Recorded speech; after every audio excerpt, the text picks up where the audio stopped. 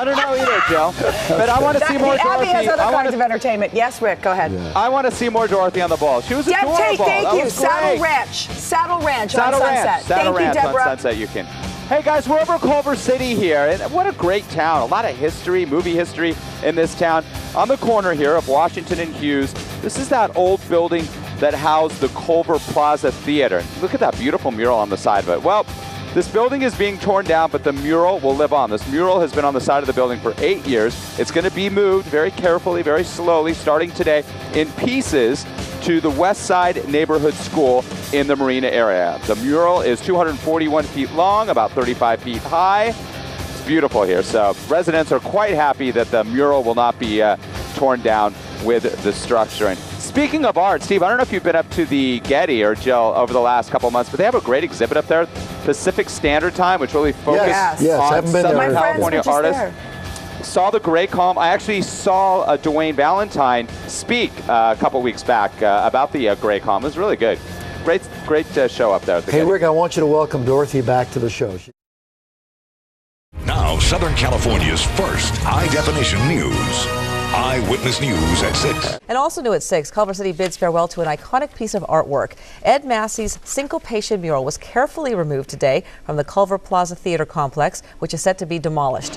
Massey created the bright and bold shapes back in 2004 using mops as giant paintbrushes. Stands 35 feet tall, 241 feet long.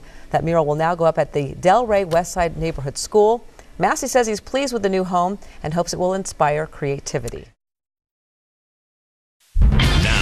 This is Fox News at 11.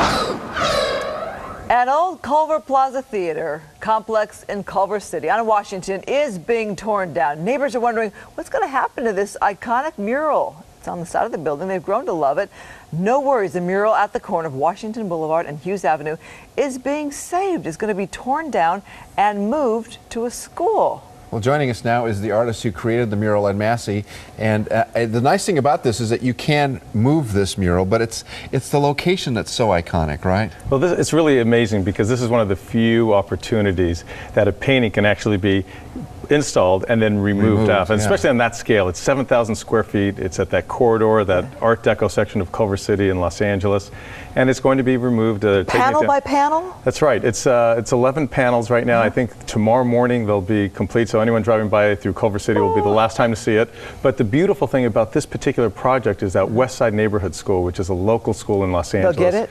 They're going to get the entire Awesome. painting, and then it'll beautify their campus and an opportunity for the kids to see it uh, daily. Well, we're looking at the model here. What, what was different about this project? And we'll look at some of your other projects in a bit, but how, how hard was that to do? Well, the beautiful thing about this particular project is that we painted it with mops, and I included I included students from a high school um, at uh, at a local school in Central Los Angeles who helped work on a kids in an inclusion program. So they came in their wheelchairs. We visited with them about two to three times a week, and we painted these huge brushstrokes on the ground, and then had it actually installed. How did this all start for you? Where, where did you come up with this idea? Well, my background's in public projects, sculptor, sculptor and painter, and I've very much liked the inclusion of just about anyone who would like to participate. And it's very rare for especially kids to get involved. There's the, the There's the mops, of mops, course. Um, but it's very rare to get kids involved in these large, high-profile projects. And I've worked on big-scale projects with my brother Bernie for Portraits of Hope. We have to mention your, uh, mention your brother because Yeah. he's such a big part of this. and uh, Bernie is a great partner, and we've worked to uh, collaboratively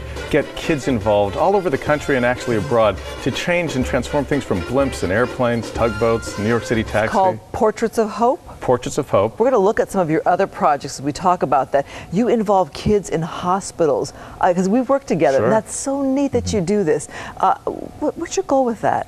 Well, it gives an opportunity for children to get involved in really the unimaginable, especially the children in isolation. So, children in hospital environments to looking- get involved and for them to actually do something that would really be unthinkable otherwise. And we take the outer skin of whatever we're doing and then apply it to the surface. So, the taxis, the blimps, the lifeguard towers. It all puts a smile on your face. I know I, when I watched them put the lifeguard tower stuff up, I was like, In this is Santa the coolest thing ever. And uh, really, it's, it's, it's the kind of art that does put a smile on your face and brighten your day. Look at at that. The tugboat even has The it. tugboats, and we have special brushes for the children for their mouths and their feet, so everyone can be included. The Braille Institute, we have texture paint. It's really all inclusive. Well, you amaze me. Ed Massey, thank you so much for coming in, and hello to me. brother Bernie, who's such a big part of what you do as well. And we just think it's it's great the way you're making our city beautiful. Thank you very actually much. Actually, around the world, we should say. Great to have you here. Thank you.